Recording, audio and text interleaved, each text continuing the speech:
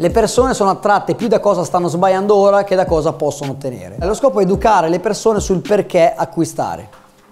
Questa è la fase più strategica del marketing, gli errori. Finora hai sbagliato questo, devi fare quest'altro, è nel mente che gli insegno, intanto spacco in due l'audience e loro dicono ah ecco perché, ah, oh, ecco cosa sbaglio, invece devo fare quest'altra roba, figo, rendendoli consapevoli degli errori che stanno facendo. Io vi consiglio 3, 5 o 7 errori, può essere anche un errore.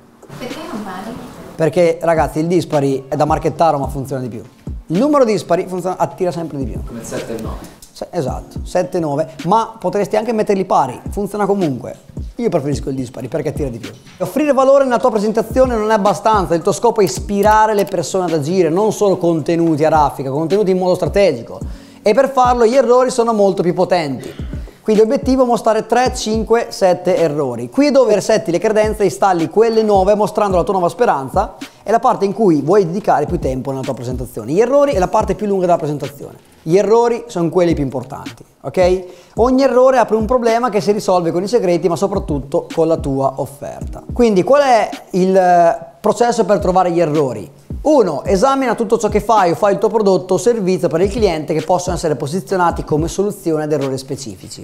Per esempio, nel marketing programmatico, un'offerta che io insegno appunto è ve- prevendere prima di creare. Il problema di molte persone che si bloccano nel creare prodotti e venderli sul mercato è che prima pensano di doverli creare, anche fisici.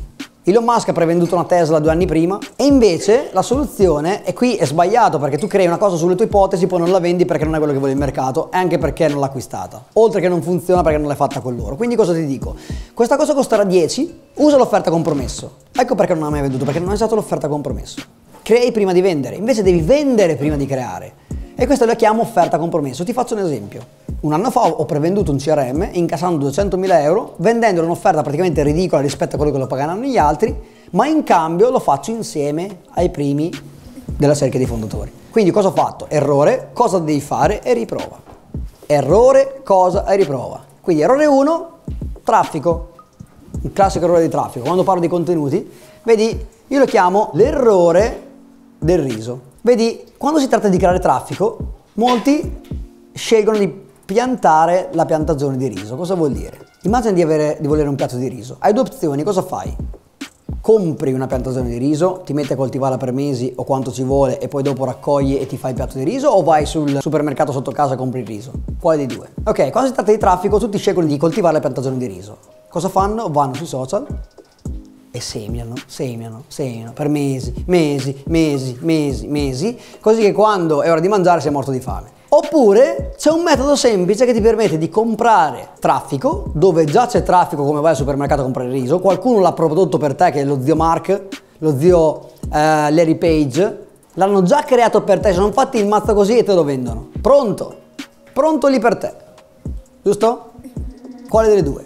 Ovviamente devi sapere come comprarlo. E qui te lo dico nell'errore 5 o nel segreto 1. Prima passiamo all'errore numero 2. Ho fatto errore, cosa, riprova. Qui come riprova ho usato una metafora. Oppure posso mettere anche degli screenshot di me che compro il traffico che da zero, comprando il traffico, abbiamo fatto milioni di euro. Senza un soldo in tasca, comunque abbiamo fatto milioni di euro. Ovviamente è perché vendo un sistema di marketing a risposta diretta.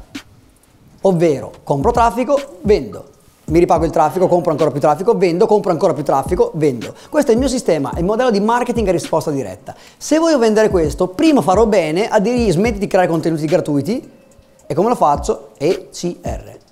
Quindi spezzo un'obiezione sul fatto, sì, ma io vedo tutti gli altri che creano contenuti gratuiti, come mai? Da, da, da, da, da, da. Te lo spezzo in questo modo.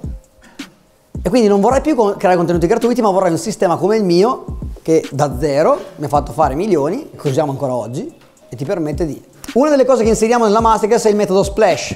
Errore, pensare che su Facebook basti una sola pubblicità, cosa devi fare invece? Pubblicarne tante. È un po' come, e uso la metafora, è un po' come tirare un sacco di roba al muro e vedere cosa rimane appiccicato. Da lì, dalle metafore molte volte, dalla riprova quindi, viene fuori il nome dell'errore o del meccanismo. Passo 2. Torna alla ricerca di mercato e cerca obiezioni e false credenze che tu risolvi o elimini con la tua offerta. Quindi, esempio, errore, cadere nella trappola del traffico a pagamento e questo è l'esempio che vi ho fatto un sistema che si ripaga da solo. Quindi non è un problema di traffico, è un problema di conversione. Non è che uno il traffico lo compra. Se oggi è TikTok domani sarà, che ne so, Pippo, la piattaforma Pippo. Lo compro il traffico. Ci sono piattaforme che creano le, le piantagioni per venderti il riso. Quindi perché, a meno che il mio modello non è quello, perché devo io crearmi le piantagioni all'inizio perlomeno? Ma prima lo faccio per me. Quante persone, quante aziende prima hanno iniziato a rivendere prodotti di altri, poi hanno creato il loro brand perché avevano i soldi per farlo? Adesso lo stiamo facendo anche noi, creiamo la piantagione nei social, ma è un lavoro a lungo termine che costa un sacco di soldi, giusto? Quindi la prima cosa che faccio è marketing e risposta diretta, un ritorno diretto che tutti i nostri clienti qui dentro utilizzano. Passo 3. Inserisci nel brainstorming degli errori gli elementi della tua lista delle nuove abitudini del cliente da installare e gli vendo il primo errore. E questo è quello che io chiamo comportamentale. Quindi cosa fa il cliente di solito, non a livello tecnico, ma cosa fa il cliente che diventa un'obiezione per voi? Per esempio, concessionaria, pensare che devi andare per forza nella tua concessionaria nel raggio di 20 km per trovare l'auto migliore. Pensaci bene, la tua auto resterà con te, le statistiche dicono su 5-7 anni, io sto inventando, eh? 5-7 anni. Quindi tu per 5-7 anni non vuoi fare 300 km per prendere una macchina che ti durerà molto di più, che ti piace, ti fa sentire bene con te stesso e ti permette di, qualunque cosa sia. Così vendo alle persone da lontano di venire da me perché magari hanno l'obiezione è troppo lontano. Oppure le persone vogliono andare in paradiso ma non vogliono morire. Se tu vuoi fare un milione devi avere un team. Errore, non volere un team. No, devi avere un team. Come fai a fare un milione senza avere un team? Quindi questo è proprio attitudinale. Capite cosa intendo? Poi ci sono quelli tecnici che sono sul meccanismo, su come funziona il prodotto.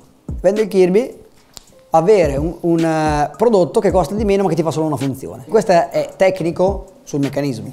Kirby è tutto, giusto?